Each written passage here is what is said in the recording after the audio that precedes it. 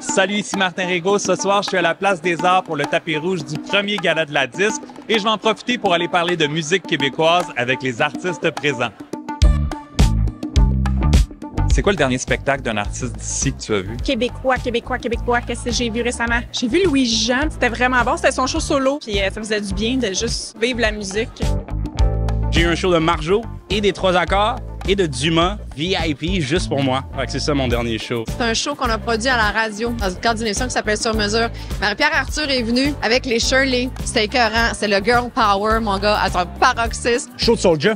Avez-vous déjà vu un show de Soulja, vous autres, en live? Eh non, mais c'était incroyable. Soulja, je l'aime, là. Pastel Barbeau au Pantoum. Il y a quatre jours. Je dirais Fouki. C'est dans un festival il y a longtemps en plus. Le show de Lou Adrienne Cassidy que j'ai vu, que j'ai tripé. Un gros show cette année, moi, c'était Flore Laurentienne. Ça a été un grand moment. Le dernier show, c'est drôle, c'est Annie qui était sur scène avec Nicole, les chansons d'une vie. On était à Sherbrooke à la salle Maurice O'Brien. C'était plein de monde pour célébrer euh, le répertoire de Nicole euh, Martin. Moi, c'est Salle Barbe. J'ai ouvert pour eux autres euh, l'été passé. Ça a été un spectacle incroyable. C'était à Saint-Georges, en coin. Florence Blame Bailly au BIM à l'église de Saint-Adrien. C'était son premier spectacle complet. Ils ont fait la mise en scène pendant une semaine, puis c'était une merveilleuse captation en même temps. J'ai vu Violette Pie au festif cet été. C'est vraiment bon. Guillaume Lafont. J'ai eu la chance de travailler avec lui, fait que je suis allé l'encourager lors d'un de ses derniers spectacles. J'ai tellement pas le temps d'aller voir des shows parce que je suis toujours moi-même en show.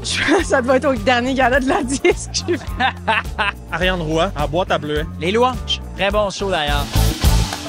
Zoo Baby. Très bon d'ailleurs, allez écouter ce qu'il fait. Le dernier show vide de même que je me rappelle, c'est mon chum Zoo Baby à l'ESCO. J'ai vu Martine Sinclair en spectacle à la 5e salle à Place des Arts. Louis-Jean Cormier. Ah, c'est bon. J'aime tellement Louis-Jean Cormier, c'est tellement bon ce qu'il fait. C'était Vincent Vallière. Ben oui. Classique, classique. Je pense que c'est Francis de Grand Prix. C'est un bon chum, puis on se croise dans les festivals. J'aime toujours ça rester, voir les spectacles après ça. Fait que je fais partie de la foule. J'ai vu Claude Dubois. C'est vrai, j'ai vu Claude Dubois. Fernie au studio TD. C'était incroyable, très cool, soul, R&B. J'ai eu des, tu sais, quand les poils ils te lèvent un peu.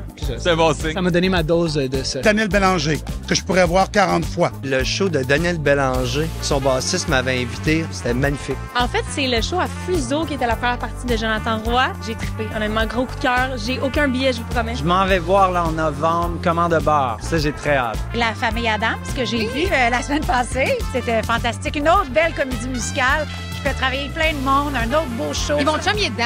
En plus. Ah oui, petit parti pris. Un gros parti pris.